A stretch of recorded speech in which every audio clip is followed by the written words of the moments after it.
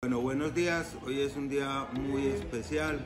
Eh, yo soy Luis Guillermo, soy un artista que vive todavía en Manizales. Eh, vine especialmente al Colegio Anglo-Hispano para hacerles una invitación a todas y todos los estudiantes de acá de este espectacular colegio.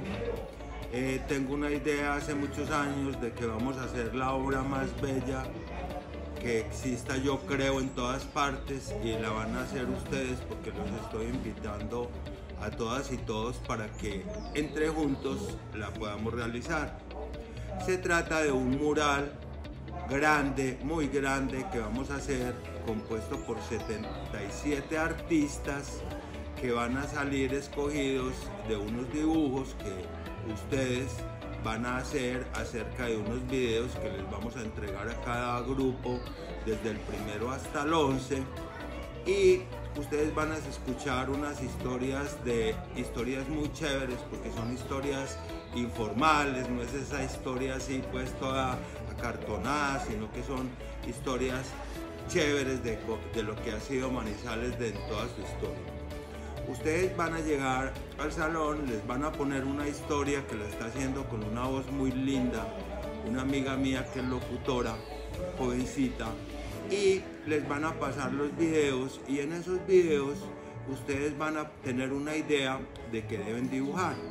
Entonces, ustedes hacen el dibujo, es personal, Luego hacemos un taller y ampliamos el dibujo y le ponemos colores y lo hacemos sobre un bastidor que es una tela blanca, le ponemos un marco, ese cuadro es para ustedes y después ustedes van al monumento de los colonizadores en un recinto que tenemos allá y pintan ese mismo cuadro sobre la pared en la tela. Esa va a ser una obra que va a quedar toda la vida cuando ustedes sean abuelitos, se van a acordar cuando estaban en el colegio los artistas que vamos a escoger para que lo hagan. Y después yo tengo que mirar 42 mil dibujos. Me voy a demorar un tiempo, pero les prometo que lo voy a mirar uno a uno con mucho cuidado.